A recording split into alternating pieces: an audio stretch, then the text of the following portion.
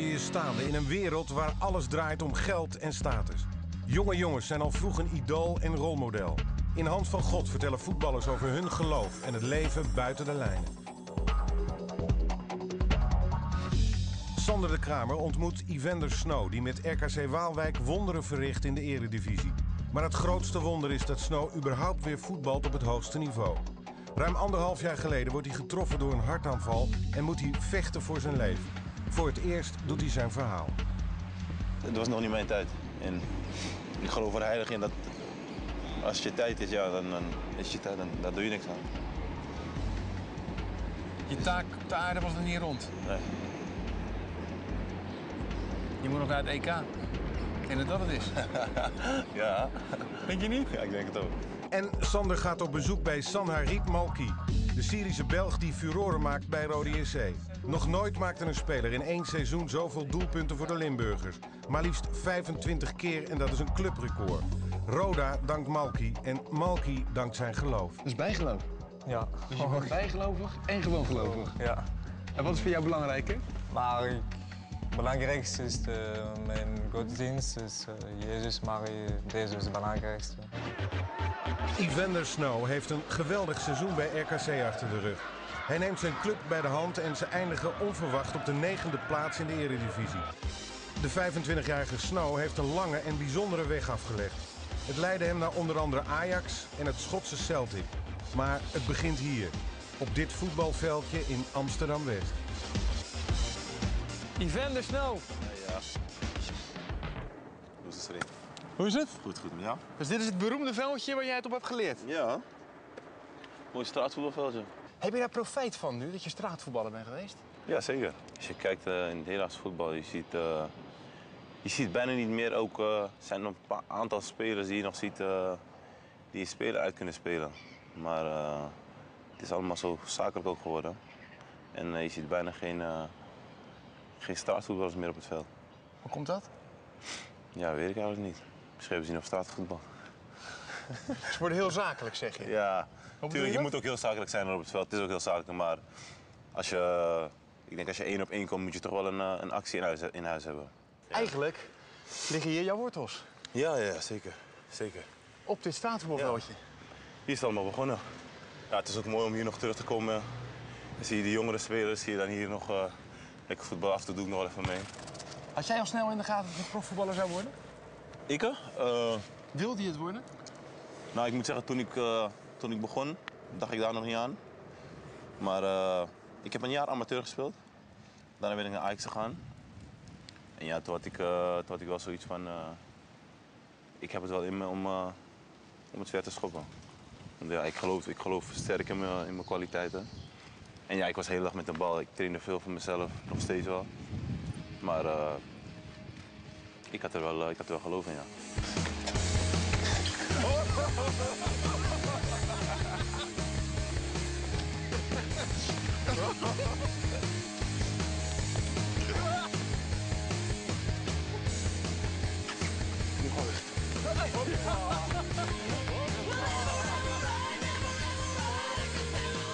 Zie je? Zo doe je dat. Vierde je hem dan ook zo? Ja. Nou, ik moet zeggen, hoor. als die super druk was en er waren meerdere teams, dan wil je niet verliezen, jongen. Kom je niet meer aan de beurt. Want de verliezer ging eruit. Ja, verliezen gaat eruit. Weer daar blijft staan. Ja, en dan staan er nog misschien drie of vier teams te wachten. Nou, voordat je aan de beurt bent, mag je weer naar huis. Ja, Maar dit zit er nog steeds in. Dit zie Ja, ik jou ja. heel vaak doen. Waarom? dat weet ik eigenlijk niet. Een beetje laten zien dat ik de... Dat ben ik de baas. Dat je de man bent. Ja, maar het is leuk hier, hoor. Goeie 1-2 dit. Snow geen buitenspel. Kan is 1-0 voor RKC. Evander Snow wordt in Dordrecht geboren, maar verhuist al snel naar Amsterdam. Zullen we de buurt even ingaan? Ja.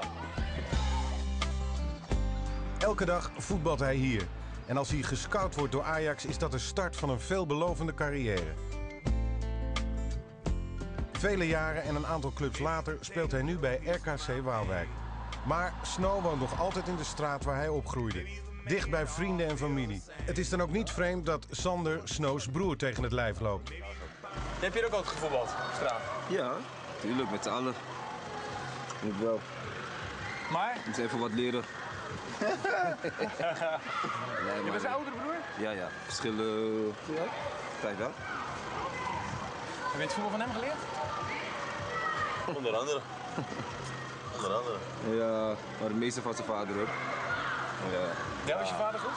Ik heb eigenlijk ik heb, ik heb alles van mijn vader geleerd. Waar heeft je vader gespeeld? Ja, die heeft nu hij heeft, uh, in Suriname voetbal, heeft niet echt uh, super hoog voetbal. Die viel achter de vrouw aan destijds. Ja, ja, maar ja, En daar gaat het mis. daar gaat het uiteindelijk mis, ja. Uiteindelijk wel, als je, als je alleen maar aan vrouwtjes denkt, nou ja, ga je de verkeerde kant op. Maar ja, weet je, heeft mij uh, talent, uh, talenten overgegeven aan mij. Dus ik trek de familie dan door. En jij, kon jij een beetje voetballen? Ik kan wel voetballen, maar uh, ik heb discipline niet. Komt dat? Regen stop ik ermee, kou stop ik ermee. nee, nee, nee. Dat is niets voor mij. Het is wel leuk om te doen op straat, maar uh, verder. Nee, nee, nee, hou ik niet voor. Wat heeft je broer wat jij niet hebt? Wat, heeft hij, wat uh, voetbal betreft? Ja. Uh, discipline. Hij heeft ook meer techniek dan mij, dat is gewoon echt goed. Maar discipline heeft hij. Traint voor zichzelf. Al gaat hij naar de club, is hij al een uur van tevoren voor zichzelf aan het trainen alleen. Dus nou ja, moet je kunnen hoor. En daar nog trainen met de club. Ben je trots op hem? Ja, natuurlijk. natuurlijk. Ga je vaak kijken? Kijk, al sinds hij in de D'tjes bij Ajax speelt. Ik heb volgens mij geen enkele wedstrijd gemist. En als je hem dan ziet spelen, denk je dan niet van ik maar wat extra mijn best gedaan? Ja, dat heb ik vaak gehad, ja. dat heb ik vaak gehad. Maar als ik uh, bijvoorbeeld als het weer regent en ik zit in de stad, denk ik ook van uh, gelukkig heb ik het niet gedaan. nee. Maar uh, ik ben trots op hem, hij doet het goed. Ja. Is de moeke gegund.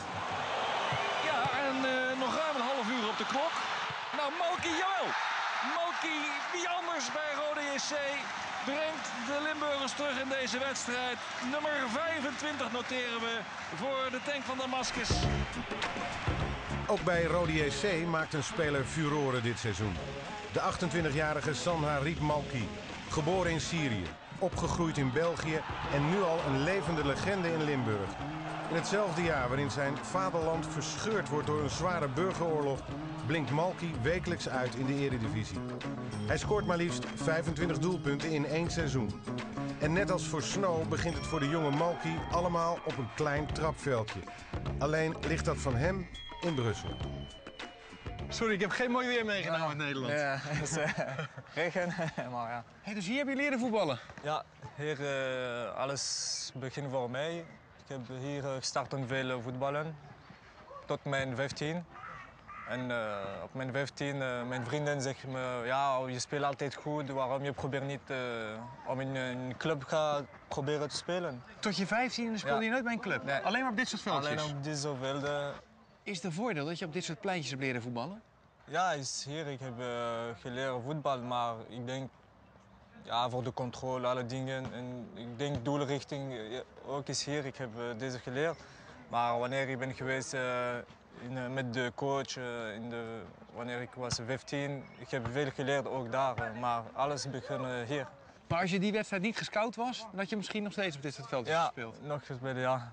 En ja, alles gaat vlug op deze moment.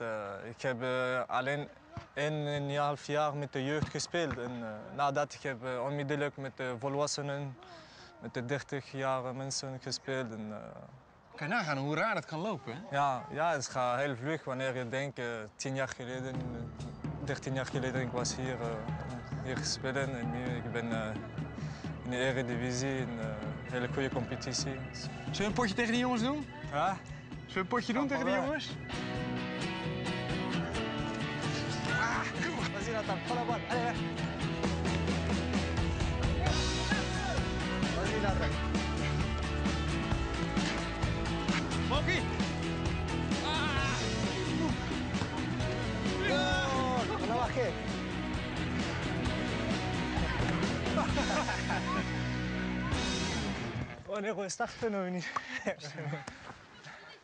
Een beetje, nu ga eten thuis, eh, drinken niet. Zo. Ja, dat is een goed idee. eens eten? Ja, rijst, eh, burger en uh, zonder rijst ga ik kijken. Goed plan. Dat Evander Snow nu de sterren van de hemel speelt, mag een zeer groot wonder heten. Nog geen twee jaar geleden moet hij na een hartstilstand vrezen voor zijn leven. Op 13 september 2010, als hij bij de reserves van Ajax speelt, gaat het tijdens een wedstrijd gruwelijk mis. Wat gebeurde er precies? Weet ik ook niet meer. Ik weet dat ik. eh, ja. Ik heb een hartstilstand gehad en. eh, meer dan dat wist ik niet. Uiteindelijk is het me later allemaal uitgelegd toen ik eh, in, het ziekenhuis, eh, in het ziekenhuis lag. Maar wat er is gebeurd op het veld weet ik zelf ook niet. Hier in het Gelderse Gent slaat het noodlot toe. Tijdens de wedstrijd tussen Jong Vitesse AGOVV en Jong Ajax valt Snow voor dood neer op het veld. De televisiebeelden hiervan zijn voor Snow zo schokkend dat hij ze nooit meer wil zien of uitgezonden wil hebben. Het was gewoon midden in het spel. De bal ging uit. En eh Evander werd aangegooid, geloof ik. Hij had de bal. En op dat moment eh, zie ik hem naar voren vallen. Ik dacht, nou, hij blijft struikelen. Hij struikelt over het gras. Dus ja, je hebt een beetje een, eh, een lachend idee. Hè? Wat gebeurt er nou? Maar hij bleef eigenlijk liggen. En op dat moment, eh ja, alle jongens op hem af. Die liepen op hem af en die keken. En die zeiden, ja, dit is niet goed natuurlijk. Opeens stopt je hart ermee. Ja. En toen? Blackout. Ja, Zwart voor je ogen. ja, Bizar. ja, echt wel. In eerste instantie ademde hij ook nog gewoon. En eh, ja, dat viel op een gegeven moment weg. Ja, en dan moet je wel meteen, eh, meteen gaan handelen. Eh, hij werd echt helemaal, helemaal afgezonderd. Eh, wij moesten allemaal naar binnen. Ja, op een gegeven moment, je hoort natuurlijk de, de gekste verhalen dat hij het niet haalde. Dat hij, dat hij weer even bij was, dat hij weer weg was, dat hij was overleden. Dat hoorde je in de ja, ja, iedereen gaat natuurlijk een beetje ja, zijn eigen verhaal eh, vertellen. Ja, ik, ben drie keer, ik ben drie keer bijgekomen. En eh, ja, toen viel ik eh, iedere keer weer weg. Maar ja, ik moet zeggen, die mensen, eh, die mensen van Vitesse, die mensen van Ajax, die, eh die fysio's, zijn, eh, ja, die hebben echt hard gewerkt hoor. Hard gewerkt. Ja, ik train niet meer hè. Ja, ik ben die mensen ook ontzettend dankbaar. We hebben de AED viermaal moeten gebruiken. Eh, dus viermaal een elektrische shock. En eh, dat was ook echt wel nodig. Want eh, als hij, eh, ja, hij, viel eigenlijk steeds weg. En eh, dat was dan met de hartmassage en de beademing niet meer, niet meer op te lossen. Ja, die wedstrijd natuurlijk werd, gestaakt.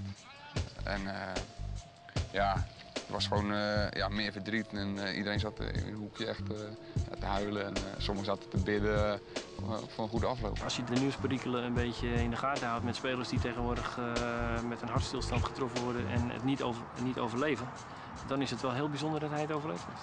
Het had ook anders kunnen lopen. Ja, zeker. Is je relatie met God daardoor verbeterd? Of anders geworden? Nee. Nee, ja, ik, tuurlijk, je, bent ontzettend dankbaar omdat je hier, nog omdat je hier nu nog zit. Maar eh, ja, ik, ik, ben altijd blijven geloven. Het is niet dat het sterker is geworden of... eh, ik geloof gewoon ontzettend veel, dus eh, ik weet niet of er nog meer bij kan komen. Het was nog niet mijn tijd. En ik geloof er heilig in dat als je tijd is, ja, dan, dan is je tijd, dan, dan doe je niks aan. Je taak op de aarde was nog niet rond. Nee. Je moet nog naar het EK. Ik denk dat dat het is. Ja. Denk je niet? Ja, ik denk het ook. Ik zou denk ik wel heel erg bang zijn als ik dan weer het voetbalveld opstap. Dat het nog een keer zou gebeuren. Heb jij dat niet? Ja, ik probeer er zo min mogelijk aan te denken. Het kan overal gebeuren. Dus eh, ik, zodra ik op het voetbalveld kom, praat ik met mezelf ook aan van ja, het is niet omdat ik aan het voetballen was of wat dan ook. Begrijp je? En wat voor mij een voldoening is, is ook, eh, ze hebben nooit een, een afwijking gevonden aan mijn hart. Dat ik, eh, dat ik problemen met mijn hart had of wat dan ook. Daardoor weet ik gewoon dat het ja, een pechmoment was. Hoe groot is de kans dat het nog een keer gebeurt? Ja, als het in, eh, in procenten gaan berekenen, denk ik eh 1 Ja? Ja, zeker.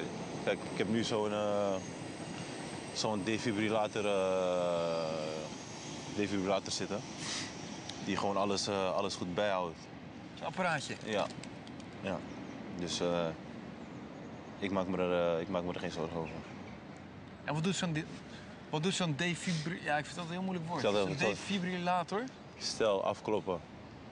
Eh, het, het, zou weer een keer voorkomen, dan eh, geeft eh, dit me toch die, eh, die, die shock dat, je, dat ik gewoon weer bij kennis kom.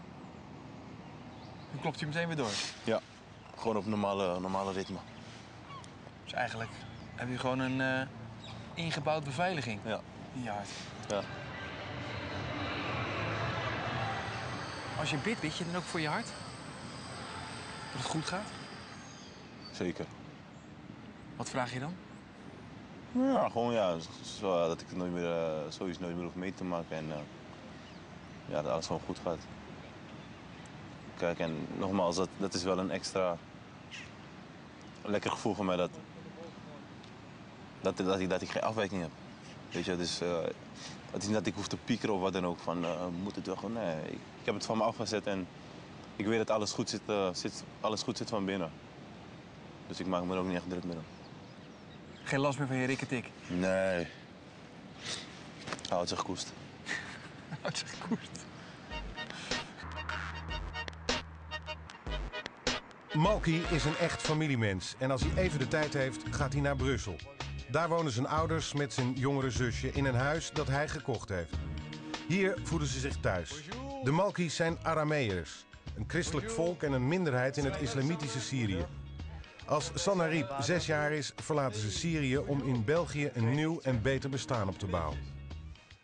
En jullie praten Aramees met elkaar? Ja. Niet Frans?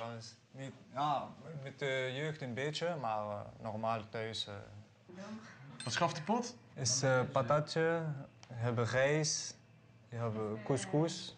Ik weet niet. Is dit een typisch Syrisch gerecht? ja, hallo, hoe moet ik dat serieus? Ja, deze. Waar ben je opgegroeid? Ik, heb, ik, ben, ik was eh, zes jaar in, tot eh, mijn zes jaar ik was in Syrië. En dan we ben gekomen hier.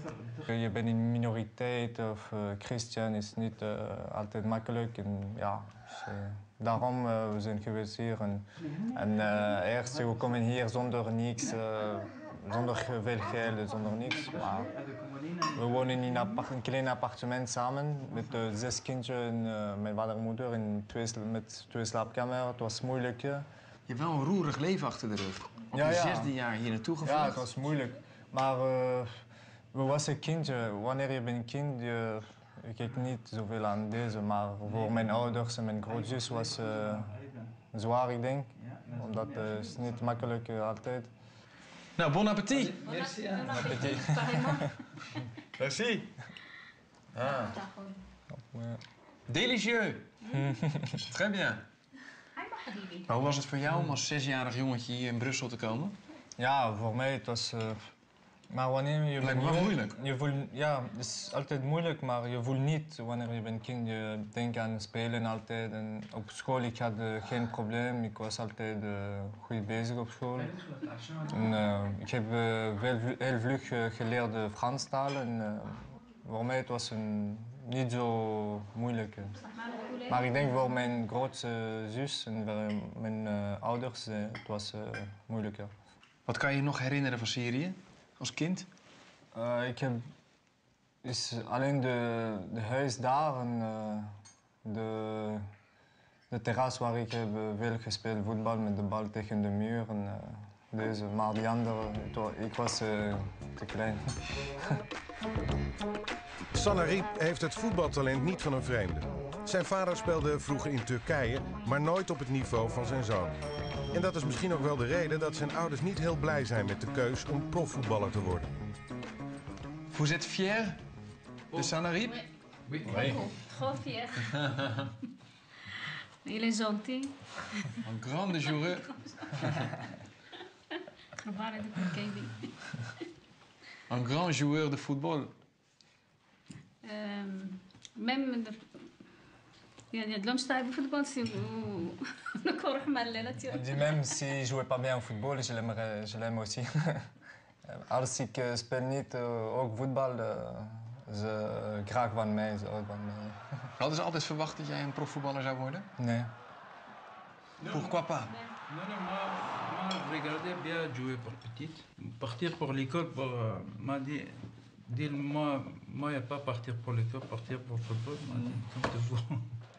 Hebben ze ook tegen je gezegd, stop maar met het voetbal, we hebben liever dat je je school gaat afmaken? Ja, ze zegt me, ja, je moet een keuze tegen, eh, tussen voetbal en wat ga je doen. En, eh, ja, ook als ik heb kind, ik zal ook, ik zal, ik zal ook eh, zeggen, ja, je moet school gaan, is, be- is beter hoor. Je weet niet in voetbal, als je hebt eh, een kwetsuur of iets, is, je weet nooit wat kan gebeuren. En, Voel je nou Syrië?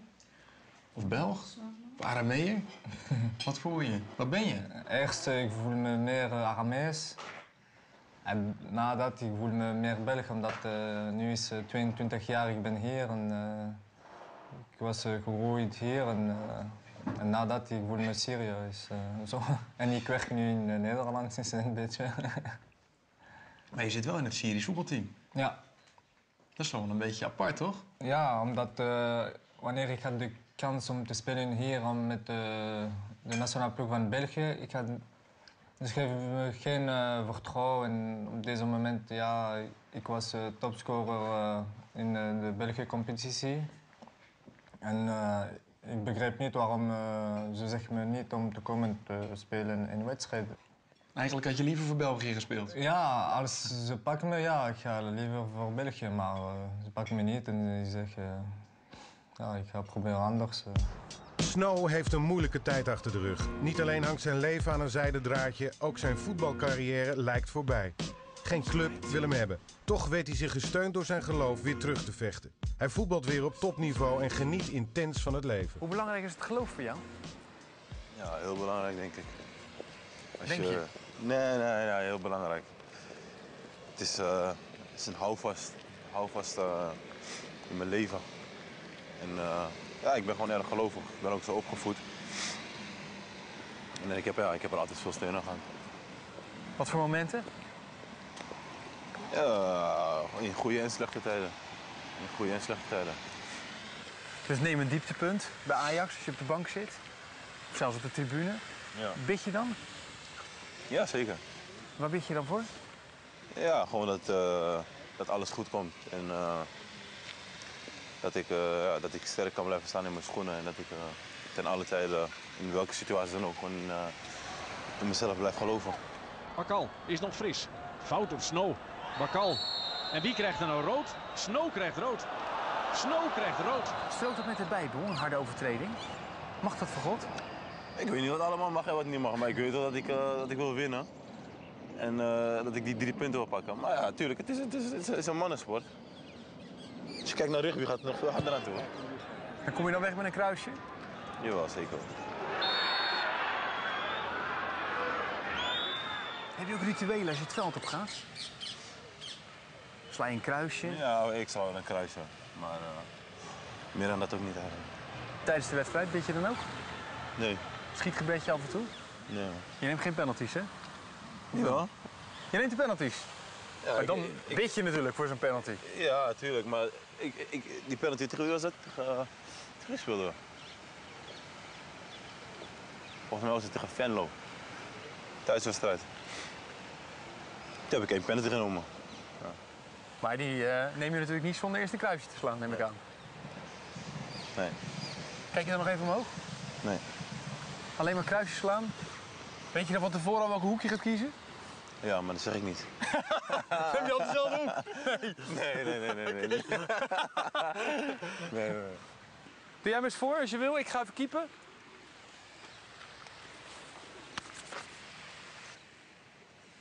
Kom maar.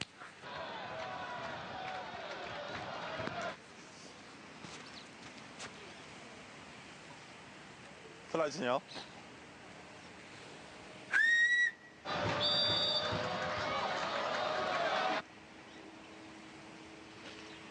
Hou hem nog altijd even in spanning, hè, dus wacht even. Oh ja.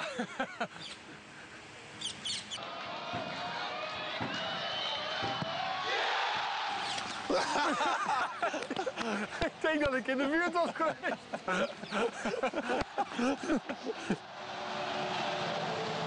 Had ik hem gehad of niet? Nee, nee. joh. Was te laat geweest? Ja, was te ver in de hoek. Oei, oei, net niet dan. Malky voelt zich thuis op de grasmat en in het stadion. Maar Brussel is zijn echte thuis. In deze stad leeft een van de grootste Aramese gemeenschappen ter wereld. Een trots volk dat de taal van Jezus spreekt. Samen met andere families heeft de familie Malky hier een eigen kerk gebouwd om de Aramese godsdienst en cultuur levend te houden. Hier is onze kerk en uh, oh ja. gaan weer ja, Église Syriac orthodox Ja. Sainte-Marie Mère de Dieu 1998. Ja. Mooi zeg. Ja. En heb je ook zelf aan meegebouwd? Ja, ik heb geholpen. Niet gebouwd, maar uh, gebroken en uh, de dingen pakken. Maar ja, ik heb ook uh, met mijn familie, de andere familie hier, samen. Naast Arie de autohandelaar? Ja. ja. Bonjour. Zo heel bijzonder zeg. Ja. Hoeveel mensen hebben jullie dit gebouwd? Ah, ik, ik, denk het was met uh, 200 familie van, uh, van Aramees en uh, doe het samen en uh, zo. Als, en mensen doen elektriciteit, ik kom voor helpen voor de elektriciteit of zo. Iedereen droeg zijn steentje bij? Ja, letterlijk. Zijn beroep moeten helpen voor de kerk. Hoe belangrijk is deze plek voor de Arameërs? Ja, ik denk het is heel belangrijk voor ons.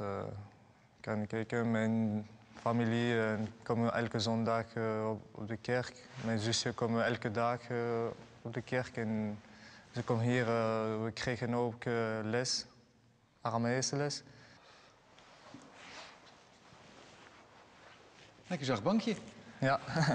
Hier kreeg je een houten kont van, hoor. Ja, dat is een beetje comfort. En, Wat voor rol speelt het geloof in jullie familie? Ja, ik denk deze geloof, ik ga de veel, is heel belangrijk omdat uh, op mijn twaalfde, ik heb de goede weg gepakt. Omdat uh, de, de weg van God. En daarom, in, uh, wanneer ik heb vrienden, wanneer ik was jong, ze pakken die andere, een andere weg. En... Welke weg was dat? Ah, niet de goede weg. Om kijken, pakken een beetje drugs of iets. Of niet goede dingen doen. En, ik, met deze wel rust pakken en een goede weg. En daarom ik ben uh, nu zo goed, ik denk. Als je in het veld oploopt, dan zie ik je ook een kruisje slaan. Ja, Waar bid je dan voor? En wanneer ik kom altijd op de veld, ik uh, doe deze en vraag uh, dat de wedstrijd gaat goed en zonder kwetsuur. En, en waarom bid je niet voor de drie punten dan? Ja, ik denk we moeten bij onszelf moeten doen, proberen. En, alles uh, God, kijk, uh, doe goed. Ik ga geven ons uh, de drie punten, ik denk. Is het zo makkelijk? hey, maar je bent bijna topscorer van Nederland. Ik kan me voorstellen dat je ook voor een doelpunt bidt. Ja, nee, ik vraag niet deze. Omdat als ik denk te veel aan om te scoren, is het gaat niet gebeuren. Nee? Bal blijft liggen en dan wordt het schoppen. Ja, dan kun je beter maar affluiten. Oh, oh, anders gaat het mis. ja, en nu uh, gaan de her en der spelers liggen.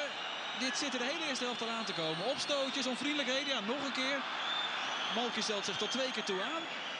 Ik zag je ook een keer schwalben maken tegen FC Twente. Hele opzichtige schwalben. Ja. Mag dat volgens de Bijbel? Nee. het is toch een beetje liegen. Maar is voetbal, ja. Is, uh, is zo, wanneer uh, ik keek de atmosfeer, ik denk, ik kom en nee, ik zeg ja. En, in Twente is het een moeilijke wedstrijd. Als je kan spelen 10 tegen 11 is beter, maar ja, is...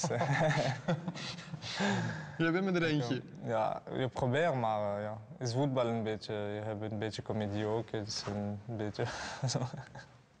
het is een beetje hetzelfde als een kleedkamerbankje. Ja. Als jij gaat zitten in de kleedkamer, hoe bid je dan? Doe eens Ja. even net alsof dit het bankje van de kleedkamer is. Ja, ik denk het is niet uh, zoals luxueus, uh, comfort met, zoals hier, maar ja. Maar stel je nou voor, wij zitten in de kleedkamer, vlak voor de wedstrijd. Jij speelt een belangrijke wedstrijd. Hoe bereid je je dan voor? Ja, ik, uh, ik maak me klaar voor de wedstrijd. En ik probeer altijd te doen mijn, eh, ik doe altijd mijn eh, linkse voet voor mijn rechtse. En ik pak mijn uh, altijd en ik doe mijn sok. En nadat ik eh, probeer, ik doe de, mijn rechts. Maar, Dus je kleedt eerst je linkerbeen aan, ja. je schoenen aan en dan pas je rechtervoet. Ja, nadat ik doe altijd zo. Waarom doe je dat? Ik weet niet, ik doe dat, maar ja. is een soort of eh, ritueel. Dat is bijgeloof. ja. Dus je bent bijgelovig en gewoon gelovig. Ja. En wat is voor jou belangrijker? Maar ik, het belangrijkste is eh, mijn godsdienst, is Jezus, Marie, deze is het belangrijkste. Maar voor, voor de wedstrijd, ik doe dit, dat. Je speelt ook in het Syrisch elftal. Ja. Hoe gaat het daar in de kleedkamer? Bidden jullie met elkaar? Ja, daar ook is, eh, is een beetje, omdat in Syrië je hebt, de land is eh 90% is eh, moslim en je hebt 10% van de christen. En het was, ik denk, ik ben een van de eerste christen die spelen in de nationale ploeg van Syrië. En, eh, we proberen het te doen samen, omdat... eh, ze Jullie zijn- samen? ja, ze zijn moslim. We, we komen samen, we doen een rondje samen. En allemaal eh, doen voor zijn zelf, zijn geloof. Ze zeggen voor de moslim eh, geloof. En we doen voor de christen geloof. Dus eigenlijk met heel veel respect naar elkaar. Ja. Ja, je moet altijd blijven met respect. eh. allemaal kan in zijn eigen geloof. eh, is belangrijk voor eh, allemaal. Een jaar geleden hervat Snow zijn carrière bij RKC. En tot ieders verrassing blinkt hij bijna iedere week uit. Hij speelt zelfs zo goed dat andere clubs al snel naar zijn diensten hengelen. Zo kan hij in de winterstop een zeer aantrekkelijk contract tekenen bij FC Utrecht. Maar Snow blijft in Waalwijk. Hij blijft trouw aan de enige club die hem weer een kans heeft gegeven. Het zou een mooie stap zijn geweest, maar ik denk eh principieel kon ik het niet echt maken tegenover eh, RKC. Eh, we staan er nu heel goed voor. Destijds stonden we er nog niet zo goed voor. En eh, ja, ik ben goed opgevangen daar. Andere clubs durfden het niet aan vanwege je gezondheid. Tenminste, die waren bang. Ja, ja, ja. Ze waren toch een beetje, een beetje sceptisch erover. En eh, RKC deed het wel. Ja, RKC deed het gelijk. Die had, eh, had er helemaal geen moeite mee. Je had ook kunnen zeggen tegen RKC, nou, uh, toedeloe, ga lekker meer verdienen en hoger spelen bij Utrecht. Ja, ik denk, ik denk ook dat eh, ze zouden er niet raar van opkijken, denk ik, hoor, eh, RKC. Omdat, ja, zoals je net zei, welke speler zou, eh, zou het in de hedendaagse voetbal niet meer doen? Maar eh, mijn gevoel, kijk, ik heb met mijn familie gesproken ook. En eh, mijn gevoel zei ook gewoon, ja, principieel kan ik, eh, kon ik het niet maken destijds. Daar ben je te eerlijk voor. Ja. Hoe bijzonder is dat? Ik moet eerlijk zeggen, ik, eh, ik persoonlijk stond er niet echt zo bij stil. Voor mij was het echt gewoon, ja, ja gewoon, ja, zoals in principe kon ik het niet maken. En toen kreeg ik allerlei, allerlei reacties van, het is heel mooi dat je dat hebt gedaan en dat komt nooit meer voor eigenlijk in het voetbal. Ja, en toen, later begon ik wel te beseffen van, ja, het is toch wel, eh, toch wel een mooi gebaar weer naar RKC, denk ik.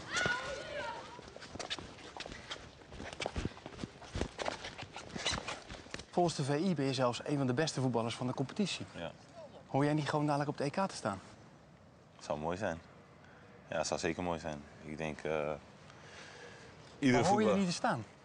Eigenlijk. Als je zo hoog staat in het klassement van beste voetballers van de Eredivisie. Ja, eigenlijk wel, ja. dan. Maar ja, het is nog steeds eh, aan, eh, aan de trainer, aan de bondscoach dan, eh, om die keuze te maken. Heb je wel eens contact met hem? Nee, nee, nee, helemaal niet. Helemaal niet zelfs. Helemaal niet. Maar ja, voor mij nu ook, ja. Nogmaals, ik, ik ben een speler, ik zal altijd in mezelf blijven geloven. Ik weet dat ik kan.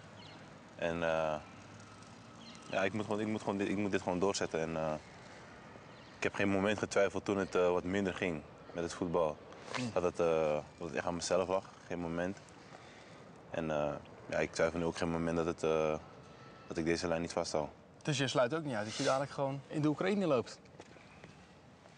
Nee, Toch? Dat, dat, sluit ik zeker niet uit. Maar het- zoals ik al zei, het is nog altijd aan de, aan de bondscoach. Het is niet, aan- niet aan mij. Ik moet gewoon deze lijn door blijven trekken en, en eh, zo goed mogelijk blijven voetballen. Malki debuteert in 2010 in het Syrische nationale elftal en heeft alweer 10 interlands achter zijn naam staan. Voetbal heeft hem dus weer teruggebracht naar zijn geboorteland. Maar nu is het een land dat verscheurd wordt door een burgeroorlog. Malki kijkt met pijn in zijn hart naar de beelden uit Syrië. Er is nogal wat aan de hand hè, in Syrië. Het land staat in de brand. Ja. Hoe, eh, hoe zie jij het? Ja, het is, eh, is pijnlijk wanneer je, zie wat gebeurt daar. eh. je kent mensen, je hebt familie daar. eh, dus eh, het is moeilijk om deze beelden te kijken. En, en je begrijpt niet waarom is zo. Het is moeilijk. Het lijkt me zo moeilijk als je hier zit en je leest in de krant die vreselijke dingen in Syrië, maar je kan er niks aan doen. Ja. Hoe ga je ermee om? Ja, dat is moeilijk. Omdat als je zegt, ik kan niks doen, je bent daar, hier. En, en ik, ook de mensen daar kan niks doen. En dus, eh, Heb je nog veel familie wonen daar? nou, niet zoveel. Ik heb eh, één onkel en eh, twee tanten. En ze zijn in de noord, dus uh, dicht bij Irak en Turkije, in de hoek, in Syrië. Maar daar er is niet te, te veel problemen. De, Er gebeurt niet zoveel? Nee, niet zoveel. De meeste problemen zijn in uh, Ooms en in Damas en daar de meeste problemen. Hoe belangrijk is het dat Syrië meedoet aan de Olympische Spelen? Ja, ik ja, is meer belangrijkste ding boven dat Olympische Spelen. Maar als je kan uh, naar Olympische Spelen met voor je land, is, uh, is goed. Zeker gezien wat er nu gebeurt. Ja, ja zeker. Voor de mensen daar. Een moeilijke moment voor, uh, voor hen. En als je kan kijken nu, uh, dat je kan misschien naar Olympische Spelen gaan, is goed. Ja. Qu'est-ce que vous pensez de Sanarib jouer pour Syrie C'est obligé, il n'y a pas euh, jouer ici. La 18 tonnes, de partir pour euh, examen. Après partir pour Malta aussi, pour euh, équipe belge, là-bas. Marquer un goal, la vient dit, toi, il n'y a pas joué, toi, reste pour 6 la, la bande. Pour comme ça partir pour Syrie? Qu'est-ce que vous pensez de Sanarib jouer pour Syrie Non. mais je pense rien, mais je ne voulais pas aller. ja. Mijn moeder, uh, mijn vader was meer uh, voor de Syrië en mijn moeder meer voor België. dus ook een klein beetje strijd aan de keukentafel. Ja, en hier tussen de twee.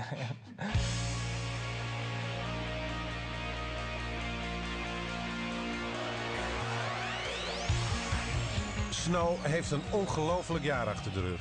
Zijn comeback is meer dan geslaagd. Het blad Voetbal International heeft hem zelfs uitgeroepen tot de beste speler van het afgelopen seizoen. Zowel RKC Waalwijk als Snow zelf presteren boven verwachting goed. Alle ellende van de afgelopen jaren heeft de trotse Snow dan ook achter zich gelaten. En hij kan weer vooruitkijken.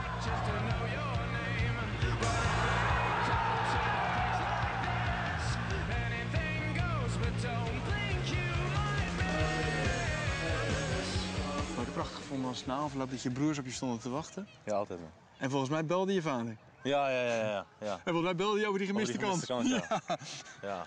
Nog geen minuut na de wedstrijd. Nee, nee, standaard. Bidden ze ook voor je? Ja, zeker. zeker. Voor de wedstrijd ook? Ja. Maar allemaal los van elkaar? Ja, je los ook van wel met elkaar. z'n drieën zo staan? Nee, nee, nee, gewoon los van elkaar. Vader, moeder, zus, iedereen. Bidden allemaal voor elkaar. Ten slotte hebben we alleen elkaar. Is het zo? Ja, uiteindelijk wel. En RKC? En RKC. en RKC, ja. Had je dat ooit verwacht? Dat je zo als een raket zou zijn gegaan? Nou, na de hartstilstand en nu weer hier. Een van de beste voetballers van de Eredivisie. Ja, ik had het, ik had het wel verwacht. Ik had het wel verwacht. En, uh, maar ik wist alleen dat ik alleen, ik moest alleen de kans voor krijgen. Maar uh, ik ben overtuigd van mijn kwaliteiten en uh, ik werk hard aan mezelf. Dus uh, ik heb nooit uh, gevreesd dat, uh, dat het er niet meer in zat. Ik heb gehoord dat het elftal naar Curaçao gaat. Ja. Betaald van de poetenpot. Ja. En ik heb ook gehoord dat het meeste geld in de poetenpot heeft gestopt. Ja, man. Klopt dat? Ja. Ik kende al de regels op het begin nog niet, dus... Wat voor regels waren dat? Ja, zoals nu, ja. Zeg maar, ja, je moet je, moet je pak naar de wedstrijd aan hebben, maar... ze, waren wel te laat met, pak, pak, pak, met een pak aan me geven, dus ja. Ik heb ze gewoon gezegd, ja, dit is jouw fout, jij moet erachteraan. Echt waar? Ja. En hoeveel moest je dan betalen? Zo weet ik niet eens meer, man. Ik denk iets van uh, 75 euro. Maar ja, als je iedere week 75 euro moet betalen. Heb jij weer? Dat is een arm, hoor. En te laat komen? Ja, te laat komen ook wel, maar dat is meer dan te laat op het veld. Dat, dat klokken lopen niet, uh, lopen niet gelijk. En mijn klok staat voor, die klok staat achter. Weet je, dus ja. Hoeveel geld heb jij dit jaar al in de woetepot gestopt? Zo weet ik niet, man. kom uit op een paar... eh, Zo, hoeveel? Tussen de... ja, ik denk tussen de 500 en de 1000 euro. Nou, dan kan je wel voor een Curaçao. Ja. Mooie handgeld. Hey, sta je hier volgend jaar nog, denk je? RKC? Nee, ik denk het niet. Waarom niet? Omdat, eh, ja, natuurlijk, ik heb, eh, ik heb deze stap gemaakt om, eh, om veel aan voetballen toe te komen. En om nog te laten zien dat ik er nog ben.